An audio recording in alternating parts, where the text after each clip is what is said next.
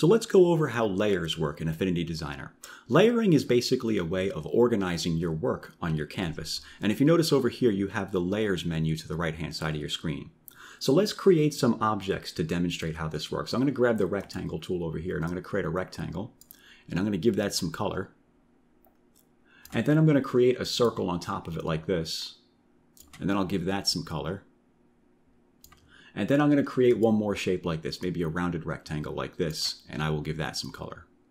Now if you notice, let me grab the select tool. If you notice, every time I created an object, it applied that object to its own independent layer as you see here. And the stacking order of these layers dictates the stacking order of these objects. So if I want to take this rounded rectangle right here and move this to the bottom of the order, I could just take this and click and drag this down here like that and you get the idea. You could click and drag these around and move them around however you'd like to position them as needed. Okay, so what we have over here, these checkboxes, if I click on these, these layers right here, as I click on each of them, each object is selected. If you notice there's a checkbox next to each layer, if I uncheck that, it makes the visibility of the layer gone. So that's one way where you can make your objects temporarily invisible without getting rid of them. This can be useful if you're working on an elaborate drawing or design with lots of different moving parts, and uh, you need sometimes for certain things to be invisible so you can draw other things. So let me put that back where it was. And uh, you could also lock your layer as well. If you select that, you come up here to this lock icon and click on lock or unlock.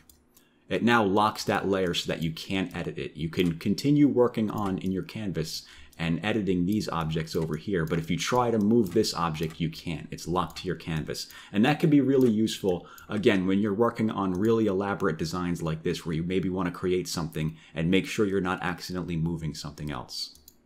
Okay, so if at any point you want to get rid of that lock, if you notice right here we have the lock icon, you just go ahead and click on that, and now the layer is unlocked and you can move it again.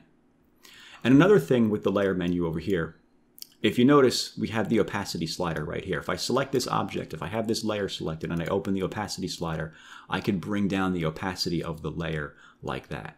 So that's another way to change the opacity of an object. One way to do it is by bringing down the opacity in the color menu, but that only changes the opacity for the one single object that you have selected. If you want to create, if you want to change the opacity of multiple objects, you could put them together in a layer group and bring down the opacity of that entire group using the layers uh, opacity right here.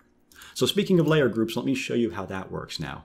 Layer grouping is a way of taking multiple objects and putting them in one layer so that they're grouped together and they act as a unit. Let me show you over here as an example. I have this design over here. This design is a series of layer groups. Okay, I have this object or this grouping of objects right here. This is the, uh, the banner, as you can see right here in the layer menu.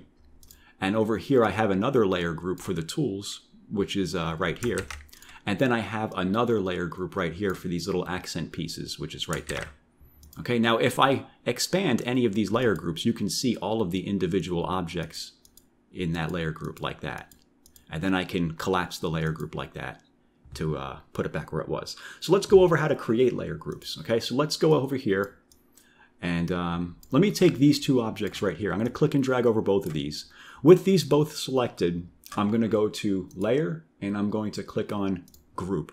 And there you go. It created a new layer group just like that. And you can expand that menu to edit it as needed.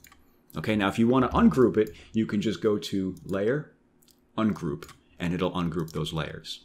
And by the way, you can change the name of any of these labels anytime you want by just double clicking the names right here. So if you notice over here, I gave these layer groups names. This is the uh, the tools group, this is the accents group, and this is the banner group. So if you want to group something together, like I'm going to group this together, go to layer, group, and I'm going to change the name.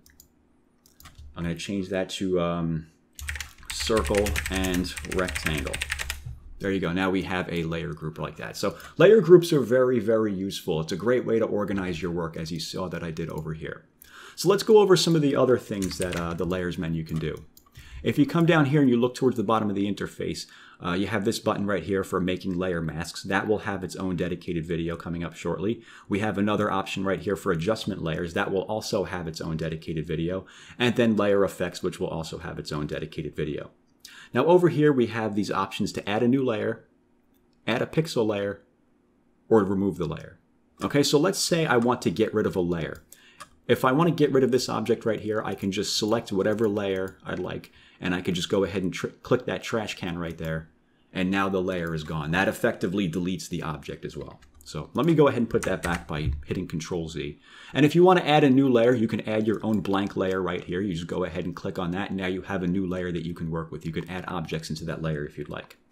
And then finally over here we have add pixel layer. This has to do with the um, pixel persona, which is located up here. We will be having an entire dedicated section to the pixel persona. Uh, but in short, if you want to add a pixel layer, just come over here to the pixel persona. And if you want to create pixel-based imagery like paintbrushes and stuff like that in imagery, just go ahead and add a new pixel layer. And now you can grab your paintbrush and go ahead and paint like that in that pixel layer.